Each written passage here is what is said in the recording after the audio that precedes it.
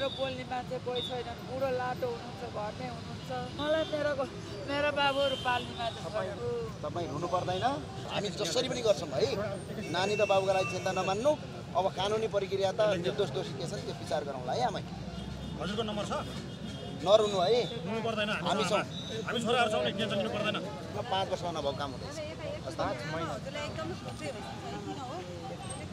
मेरो घर सिन्धुली हो बाबु म यहाँ काठमाडौँ बस्छु मेरो एउटा काठमाडौँ पैसा कमाउन आउँदा होटेलमा काम गरेर बस्दाखेरि धुतो आरोप लगाइदिएर एउटा मान्छेले मेरो छोरो थुनिदिएको छ मेरो छोरो मेरो छोरो उहाँ दिल्ली बजार चार खालमा छ हो यस्तो होटेल पैसा तिर्नु रहेछ मेरो बाबुले त्यसमा झगडा परेछ पुरानो ठिमीमा जाउँ चौकी गएर काद गरौँ तेरो पैसा मैले कति खाएको छ म तिर्छु भनेर मेरो बाबुले भनेछ उसको दाजु पनि र मेरो छोरो ठिमी चौकीमा गएन अनि चौकीमा गएपछि यसले मेरो बहिनी सत्र वर्ष बहिनी जबरजस्ती ल्याएको भनेर उल्टो केस हालिदियो। अनि भक्तपुरमा चाहिँ चलान भयो उहाँ भक्तपुरमा फोन नम्बर छ। बाबु फोन नम्बर थियो मेरा दुइटा टुरा नाति छन्। नानी रुन्छ भनेर म ओछ्यानमा छोडेर म पुरानो ठिमी बस्छु। मेरो कोही पनि छैन। बाबु तिन वर्ष तिन वर्ष भयो चाँडा फैसला चाँडा बेसी हटो। मेरो बोल्ने मान्छे कोही छैनन् बुढो लाटो हुनुहुन्छ घरमै हुनुहुन्छ। बुहारी पहिला गएको सात वर्ष भयो बाबु छुट्नेको तिन वर्ष भयो। आठ वर्षको नानी र छ वर्षको बा नानी दुइटा बाबु छन्। मैले मागेर पालेको छु सर। मलाई मेरो मेरो बाबुहरू पाल्ने मान्छे तपाईँको छैन लागि मैले कसरी सम्पर्क गर्ने? हजुरलाई कसरी भेट्ने त? नम्बर छ हजुरको केही बाबु बाबु को छ तपाईँ तपाईँ छ अर्को मान्छे कोही छ? मेरो छिमेकी यहाँ छैन घरमा मेरो नम्बरलाई यहाँ फोन गरेर। तपाईँलाई यो काम हामीले कहाँ के भएको छ बुझेर केही न केही गर्छौँ है? बाबु बाबु मेरो नानी पाल्ने मान्छे छैन होइन। त्यो व्यवस्था हामी गर्छौँ। तपाईँ ढुक्क हुनुहोस्। बाबु। तपाईँ रुनु पर्दैन नरुनु तपाईँले अब तिन चार महिनापछि केही गरेन भने भन्नु। हामी काम गरिदिइहाल्छौँ है। अहिले फेरि साउन्ड भयो। आमा यो अर्को नम्बर छ मलाई एउटा कागज देऊ केटीले म आएको होइन भन्दा पनि मेरो तपाईँसँग बसेर के भएको हो दोषीबाट त कारवाही हुन पर्यो। निर्दोष छ भने उन्मुक्ति पाउनुपर्छ? तपाईँका छोरा र त्यो नानीहरूको चाहिँ बस्ने व्यवस्था चाहिँ हामी केही न केही गर्छौँ। सुनिल मान्यज्यू मेरो नम्बर र दुईजनाको नम्बर दिन्छु। है हजुरले जसरी पनि हुन्छ फोन चाहिँ तपाईँको नम्बर भयो नम्बर थाहा छ। तपाईँको नम्बर पनि मलाई दिनु है। हजुरको नम्बर थाहा छ हजुरलाई? सानो मोबाइल थियो नम्बर होइन, नम्बर नम्बर थाहा थाहा छ छैन। नम्बर। हजुर नभए ए नम्बर थाहा भयो थाहा त छ भने त भयो। भइगयो नि छिमेकी बहिनीले गरिदिन्छन् हजुर ल, होइन, यो हजुरको मेरो नम्बर पनि नानीलाई दिनुहोस् न तपाईँको नम्बर तपाईँ दुईजनाको नम्बर अहिले तपाईँलाई दिन्छु कागज नहराउनु। उता तपाईँको उसको नम्बर तपाईँको नम्बर थाहा छ? दिनुहोस् त। हजुरको नम्बर छ दिनु त। कस्तो भयो हो यो देश। तपाईँ यसमा नानी र बाबुका लागि चिन्ता नमान्नु हामी जसरी पनि गर्छौँ है? नानी र बाबुका लागि चिन्ता नमान्नु। अब कानुनी प्रक्रिया त निर्दोष दोषी के छ त्यो विचार गरौँला है आमै हजुरको नम्बर छ? नरुनु है। दिनु पर्दैन। हामी छौँ। हामी छोराहरू छौँ नि टेन्सन लिनु पर्दैन। तपाईँको फोन नम्बर छ। मलाई जसरी पनि हुन्छ सम्पर्क गर्ने है। नम्बर छ। यो उहाँसँग कोही मान्छे छ अरू? उहाँसँग कोही मान्छे आएको छ मेरो कोही छैन बाबु। म रुँदै हिँड्छु। मेरो कोही पनि छैन। त्यसो गरौँ न यो च्यातेर दिउँ न। तपाईँको नम्बर थाहा छ तपाईँलाई? यही हो। यो छिमेकी बहिनीको ए ल ल छिमेकीको भयो भने भइगयो दिदी। म तपाईँलाई आजै बेलुका हजुरको नाम के भन्नु त? फोन गर्छु है। तपाईँको आज बेलुका उहाँलाई भेट्नुहोस् है। है।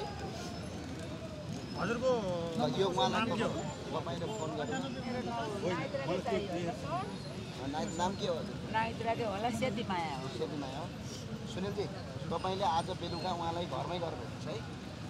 है भेटेर ए सुन्नु त उहाँ सांसद हो अहिले यहाँको प्रदेश सांसद हो। कोटेश्वर एरियाको। तपाईँ कहाँ बस्नुहुन्छ? पुरानो ठिमी तपाईँले तपाईँ अहिले मेरो संसद चाहिँ तपाईँ बेलुका गएरै आउनु है।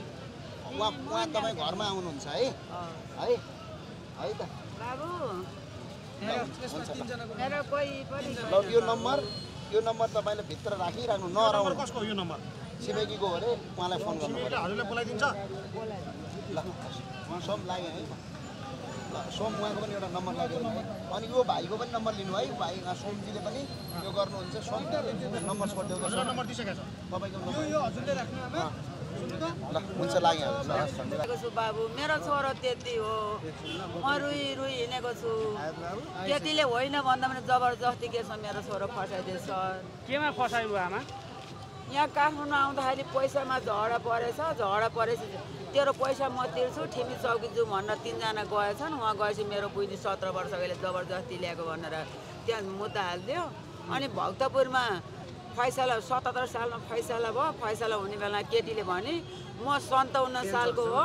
मलाई उमेर घटाएर बनाइदिएका हुन् बाबाले उनासाठी सालको भनेर। यो सँगै आए पनि म आफ्नो रुममा गएँ ऊ आफ्नो रुममा गयो। यो केटाले मलाई केही गरेको छैन भने केटीले। केटी अझै पनि हामीपट्टि नै छ। होइन भनेको भनेछ केटीले। त्यति भन्दा नि बाबु मेरो छोरो दस वर्ष तोक लाग्यो। सर्वथोक लाखमा मुद्दा छ। अहिले चाँडो पेसी हटिसक्यो बाबु मेरो बोल्ने मान्छे छैन। म एक्लै छु।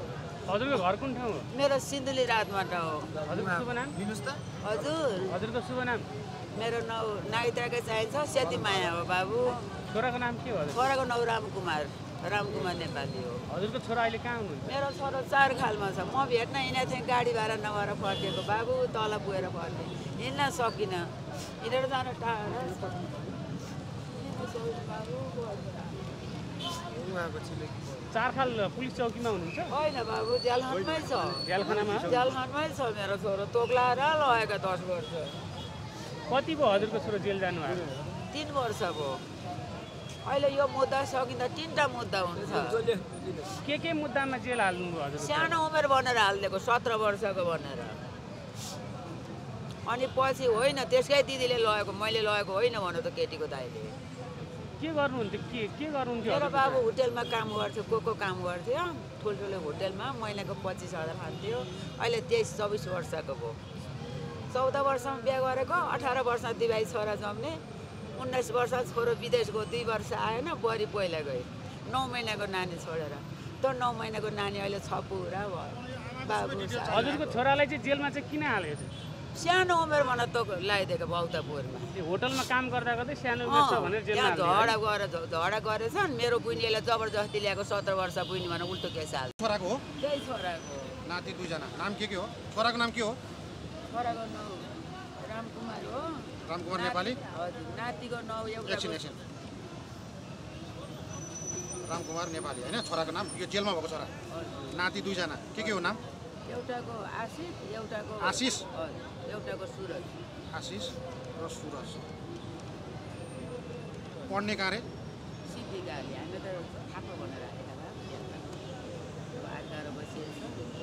यहाँ थापा भनेर लेखेको। घरमा बस्नलाई गाली गर्छ भनेर? हामीले थापै भनेर पहिला नदिएको यो स्कुलमा गयो भने बच्चाहरूसँग भेट हुन्छ? हुन्छ बाबु। सिद्धिकालीमा होइन? कति कतिमा पढ्छन्? हो।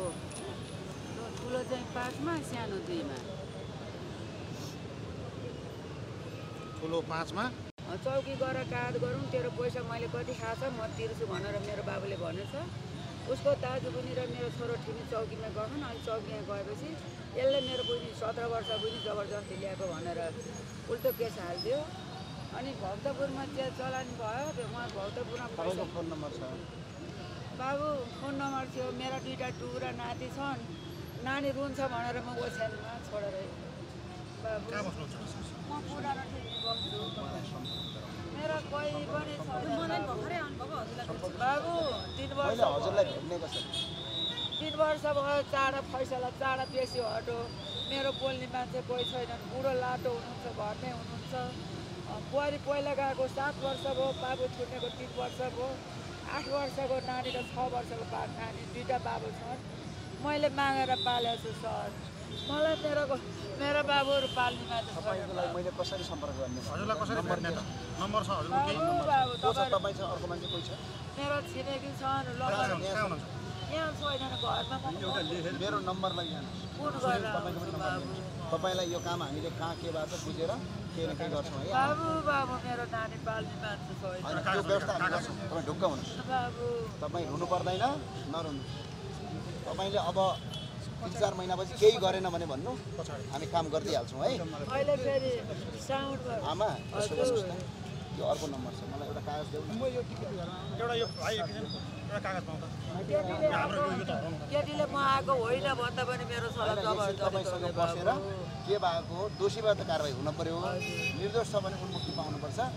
तपाईँका छोरा र त्यो नानीहरूको चाहिँ बस्ने व्यवस्था चाहिँ हामी केही न केही गर्छौँ। सुनिल मान्यज्यू। मेरो नम्बर र दुईजनाको नम्बर दिन्छु।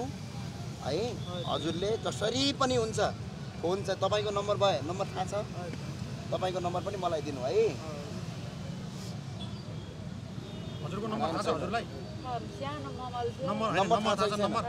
ए नम्बर थाहा भयो तपाईँको नम्बर तपाईँ दुईजनाको नम्बर अहिले तपाईँलाई दिन्छु कागज नहराउनु।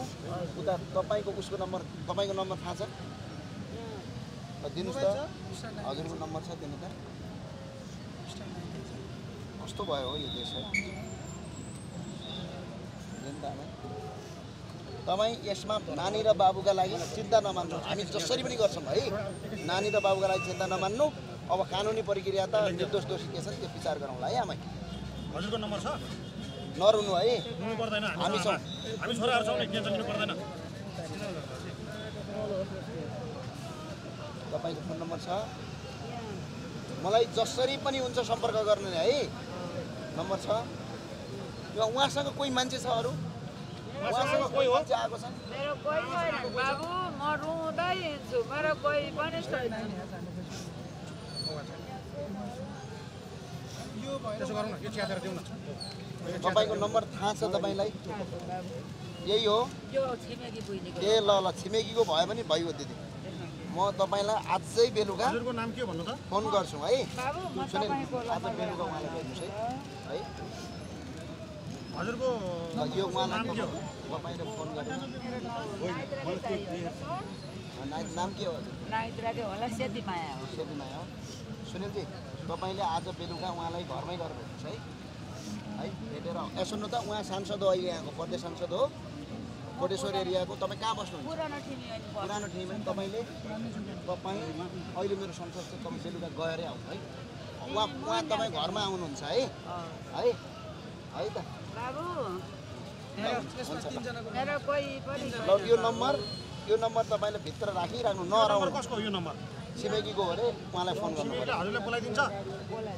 ल सोम लाग्यो है। ल सोम उहाँको पनि एउटा नम्बर लागेको अनि यो भाइको पनि नम्बर लिनु है भाइ। सोमजीले पनि यो गर्नुहुन्छ सोमले नम्बर छोडिदिएको छ तपाईँको ल हुन्छ लाग्यो हजुर धन्यवाद सर तपाईँलाई आज बेलुकै भेट्न आउँछ है